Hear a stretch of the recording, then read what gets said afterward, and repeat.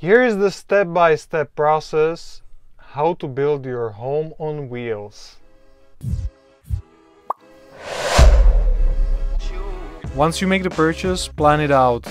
Always start with the biggest dimensions and demands. My demand was storing e-bikes without taking them apart. This dictates the entire layout. Bed would be pretty high, so I need to figure out e-bike's position so it can be as low as possible. Because we planned to live inside full time, we needed enough space in the main living area to move around each other without getting crazy. In the following step you should strip the van off. Take everything out that doesn't have to be in there. In our case it was everything. The divider, seats, all panels and covers. Do all the mechanical fixing at the very beginning. This is important before you process any further. You want to have fully functional and trustworthy vehicle, so make sure it is. For some people it might be just oil change, for somebody else timing belt, tires. This is just too individual. After the car is sound and safe, make sure you can use it. For this you should have a seat in there. Swivel mechanisms are essential for us. The mechanism is pretty expensive and I was not willing to pay over $300 for each of them. I found some cars that have swivels by default and found those second-hand seats online. The only thing to make were bases for those seats to be fitted. Fun project to do and opportunity to practice welding for me. Next are windows or roof windows. Let's do all the main things right at the beginning, decide where you want them and cut holes for them. Next I made a simple wooden frame to even up the thickness of the entire roof.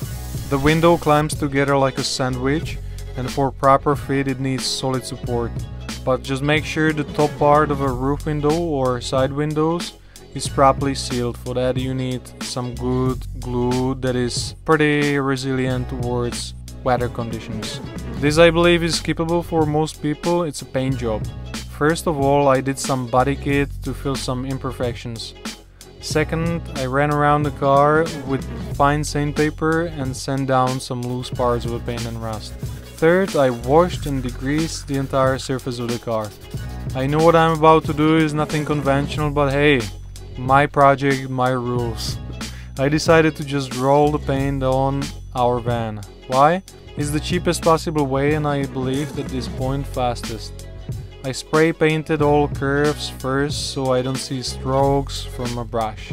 That means door from inside, roof and just curves all around the van. After this I do two coats. The result is pretty good I can tell you. I don't stress about scratching the car at all. If I do, I can anytime do another coat for a few dollars.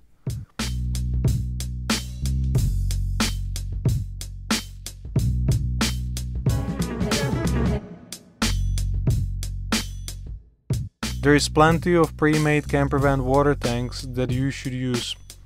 I personally would never do water tank inside of a car if there is an option to have them underneath. The reason is of course space saving. I'm on a tight budget so I'm building my own tanks out of barrels. It's more work but I like these kind of projects. I'm connecting four 25 liter barrels together to create 100 liter freshwater tank. Another two together to make 50 liter grey water. These barrels fit perfectly under the car and I welded supporting frame for it with a board. This way tanks are covered, protected and pushed hard against the car from the bottom. Solars are pretty easy, you can buy brackets to attach them to the van and wire plugs that seal your roof. I don't buy them, instead I just got a L-shaped aluminum drilled holes to them, glued and screwed with self-tapping screws. For wires I just drilled holes and then sealed them with the same Sikaflex glue. Easy and cheap solution that does the job. Reversing camera is easy too. This one was just cheap from eBay and I read in comments it leaks after heavy rains. No problem, I siliconed it all around and instantly it's waterproof. In the following steps you can do wires or insulation, whatever you prefer. I decided to do wires. You should have all the wires in protective hoses so you don't cut through them somewhere by accident. I learned this later, so please avoid it. Plan it like I did with a marker, that's a good way. This made it easier to work with. Plan your lights and switches, reversing camera, inverter, water pump, fan and everything else you are adding. I also added extension cable drum from the bottom of our van because it's very convenient to just pull the cable out. Make sure you have plenty of USBs everywhere. Cool extra trick for urban camping.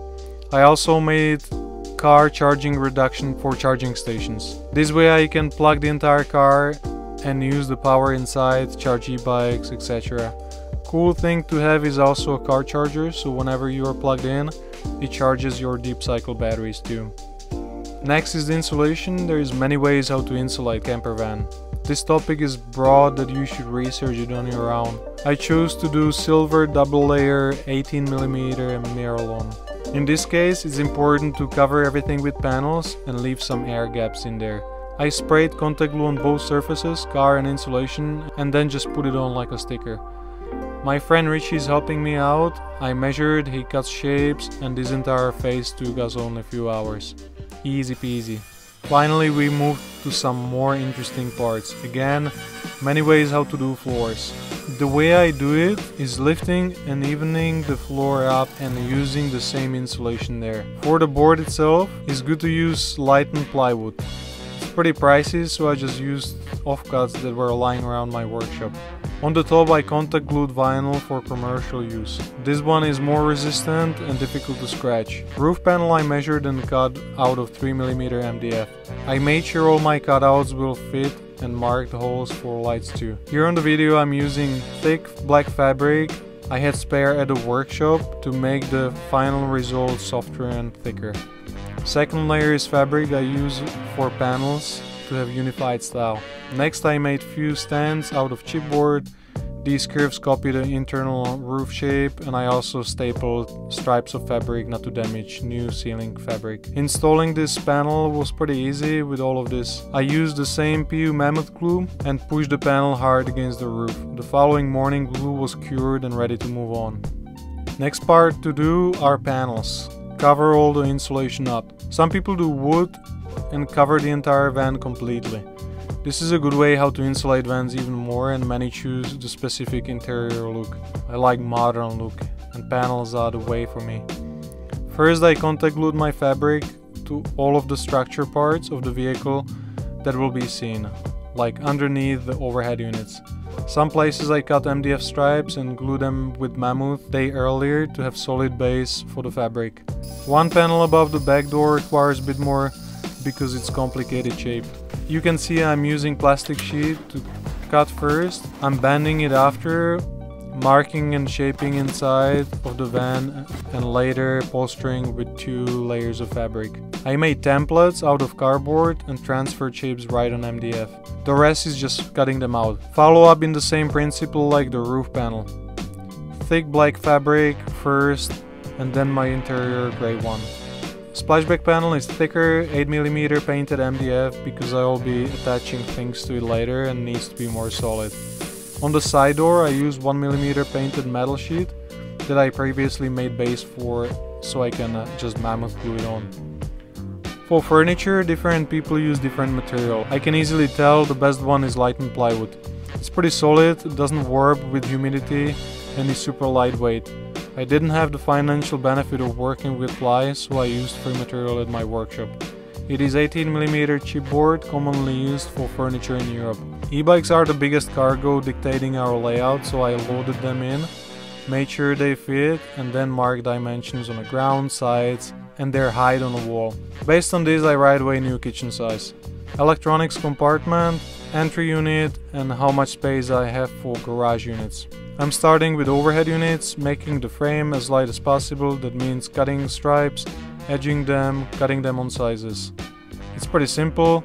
For the bag I used 3mm plastic sheet I had at my workshop because it bends very easily. Before I staple it on the unit, I contact glue black fabric on the facing side.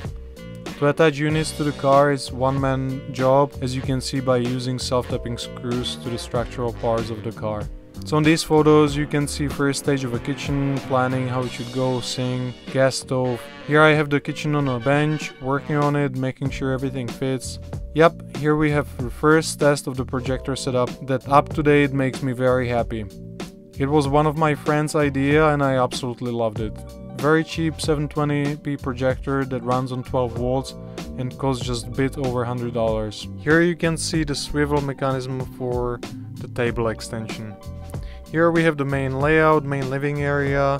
This is the first stage. Here is the groove for the screen projector and here we have the projector screen fitted. This is the garage unit that helps with organization. There is also a safe. After you install all the cabinetry, it's time to plug things together. Wire LEDs, switches, water pump, wire the battery, fuses, reversing camera, fridge and so on. This is very satisfying phase because you see the final product. It feels great. In our case, we are finishing the bed at this point because we don't need easy access to the back anymore. It means welding the frame and installing lifting support, making it ready for linear actuators that will be lifting the bed up. This last part is so much fun. It's adding things and features to your fully functional portable living space on a go. As you use the van, you realize more behavior patterns, and with pinch of critical thinking, you realize how to make it better. We added so much from the day one, like chopping board, spice rack, paper towel holder, laptop holder, extra USBs, temperature station, mirror, code hooks,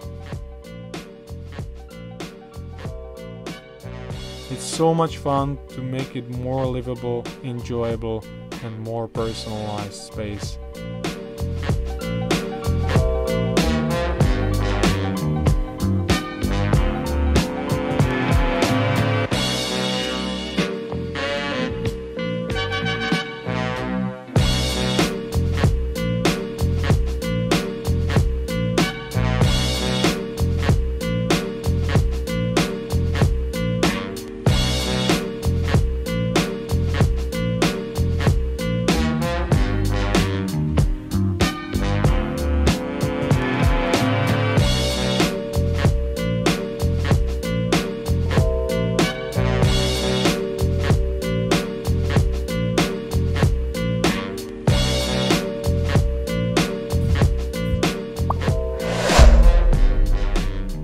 I see you made it all the way to the end. Now you need to check out our van tour to see all these creative details in this van and how we operate inside. If you want to see how we travel and where we are right now, check out Margaret's Instagram at Curly Hair Camping and mine at Panorama Man. See you in another video.